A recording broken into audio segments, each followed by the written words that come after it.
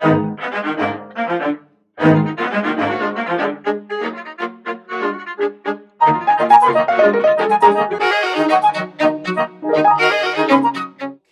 Hey, you. Super Bowl. You know the thing about the Super Bowl, and it's, it's like sound like the mafia now. It's not who wins the Super Bowl, who bets. But what happened is that this Super Bowl don't be caught like who's winning or who's losing. It it will depend on on the announcers and and uh, how the game is called. Because what you're going to have here is a contrast in terms of quarterback styles, Manning and Newton.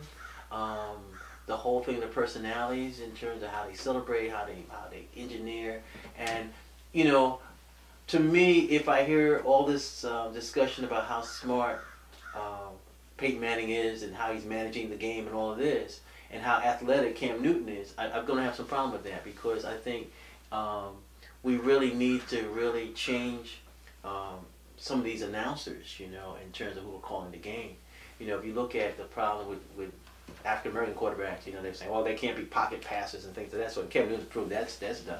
But what happens is that usually that comes from the people who are calling the game who have been pocket passes like Phil Simms and Troy Aikman. So, you know, they have a tendency of turning the public against certain athletes. So if you have the Super Bowl, listen to who's calling the game because there's this one thing that happens at the Super Bowl. You can make your reputation on one play.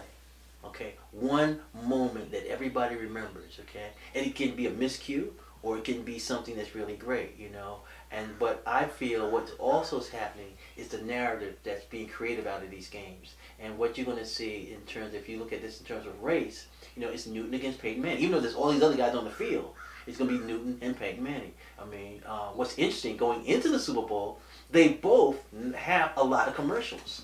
You know, uh, Manning has more than Newton, but Newton is beginning to, to hold his own. And I think that's going to be a lot to do in terms of the marketing.